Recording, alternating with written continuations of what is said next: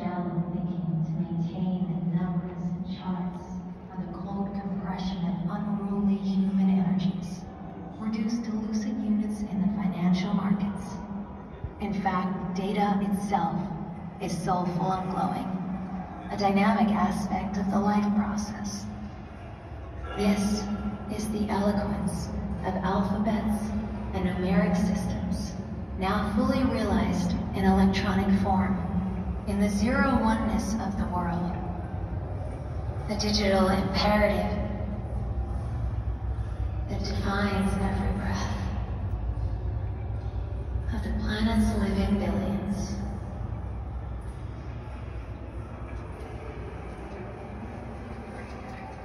I